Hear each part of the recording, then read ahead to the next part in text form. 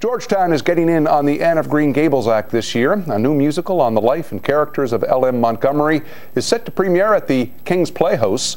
The Nine Lives of L.M. Montgomery will kick off a six week run on June 20th, coinciding with the 100th anniversary of Anne of Green Gables.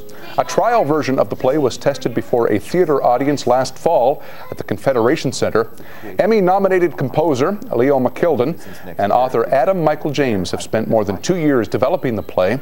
The producers say they'll be looking for island talent. Auditions will be held online during March and in person in April.